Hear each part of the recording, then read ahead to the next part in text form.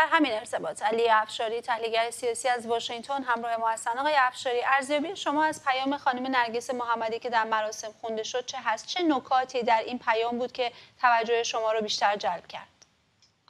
خب به نظر من در وهله نخست خانم محمدی اون تواضعی که انتظار می‌رفت و نشون داد و گفت این جایزه فراتر از شخص اون تعلق و مردم ایران به خصوص به زنان ایرانی داره و در امتداد نه در قدردانی از یک مجموعه تلاش هایی هستش که در چهار دهه گذشته به شکل مستمر و اشکال مختلفی اعلام شده. ایشون در پیامش اشاره ای داشتن هم به اعتراضات انتخابی در سال 88 هم به اعتراضات خیابانی در سال 96 98 و جنبش انقلابی زن زندگی آزادی و همه اینها رو به نوعی در یک راستای کلانی دیدن که در مقاطعی خب در سمت و سوی اصلاح طلبی یا اصلاحات ساختاری بود و اکنون به سمت گذار از جمهوری اسلامی و رویکرد انقلابی متمایل شده. باز نکته دیگه تاکید ایشون بر محورهایی بود که مبنای اتحاد و شکلگیری یک جنبش اجتماعی توانمند و یک اپوزیسیون قوی رو نشون میده که تاکید بر آزادی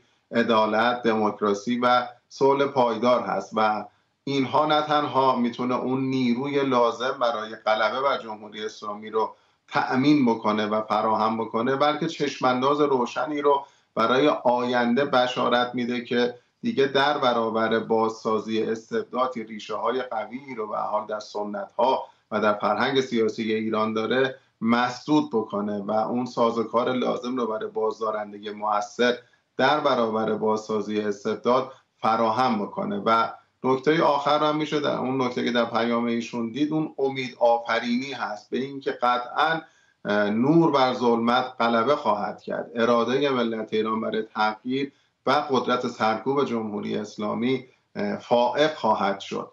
اینکه این تقاضا برای ترقی خواهی بر محافظه کاری غلبه خواهد کرد. و این حس امیدی که درست نقطه مقابل اون تلاش های مختلف جمهوری اسلامی است بگیر و به بنها اجرای اعدام ها صدور احکام زندان سنگین ایجاد فضای اعراب. همین که اجازه ندادن خانم محمدی رغم اینکه این جایزه معتبر رو کسب کرده برای مردم ایران افتخار آفرینی کرده خب هنوز در زندان هست محدودیت ها رو برای بیشتر کردن. اما خب به رغم همه اینها این پیام او دعوت هستش به حفظ نشاط به حفظ امید به تداوم مقاومت و مبارزه که نجات کشور و آینده درخشان ایران از این مسیر میگذره. آقای افشاری هر کدوم از برندگان نوبل سلطه این سالها ویژگی ها و سابقه ای از مبارزه و تلاش برای تحقق دموکراسی و آزادی رو داشتن. از دیدگاه شما کدوم ویژگی خانم نرگس محمدی پررنگتر از سایر ویژگی هاش بود که او رو در واقع شایسته دریافت جایزه نوبل صلح کرد؟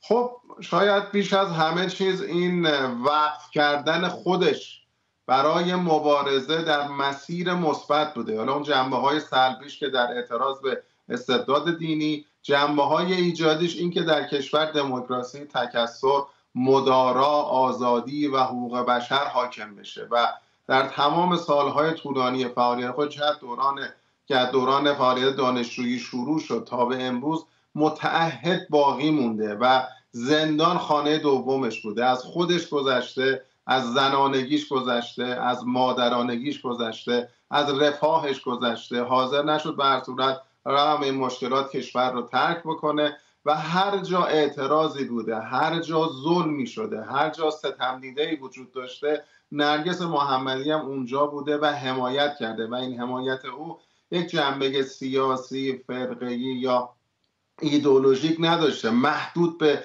قشر خاصی نبوده. بلکه یک نگاه فراگیر همه کسانی که ظلم دیدن رو او وظیفه خودش دونسته که از اونها حمایت بکنه تلاش بکنه. حالا خب ما در ماهای گذشته شاهد این بودیم که خب به حال جمع زیادی در خیابون ها بودن. اعتراضات بزرگی بوده.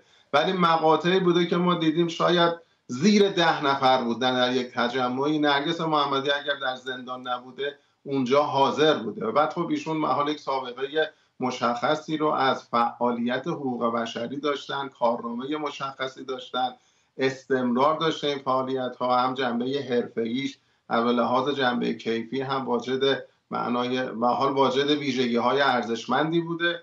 و در نهایت می‌خوام بگم شاید به حال در متن جنبش انقلابی زن زندگی آزادی این خیلی معنادار بوده که به یک زن ایرانی بدن. و نرگس محمدی نماینده شایسته ای بود. البته به هر حال کم نبودن. فعالان زنی که در داخل ایران استحقاق این جایزه رو بالقوه داشتن. اما شاید بشه گفتش که نرگس محمدی همه اون تلاش ها رو با بده. نه برای فعالان زنانی که در دهه های گذشته بودن بلکه برای همه زنان ایرانی از حداقل انقلاب مشروطه تا به امروز. نسل در نسل تلاش کردن. دوش دوش مردان. حتی در مقاطع جلوتر از مردان ولی به حقوق خودشون نرسیدن بله. نادیده گرفته شدن و آن هست شدن صداهاشون به کنار زده شد به حاشیه رانده شدن به خصوص بعد از انقلاب احمد 57 تحت محرومیت ها و فشارهای مضاعفی قرار گرفتن. زن ایرانی در طول تاریخ این کشور از بخش فعال بوده. اگرچه در گذشته پرده نشین بوده ولی خانه نشین نبوده و امروز شاید این انتخاب و این تاکید بشارت دهنده این هستش که زمان دیگری برای زنان ایرانی فرا خواهد رسید که کاملا با گذشته متفاوت هست و برخوردار از حقوق انسانی برابر خواهم بود و در با عدالت جنسیتی. بله سپاس از شما علی افشاری تحلیلگر سیاسی که از واشنگتن ما رو همراهی کردید.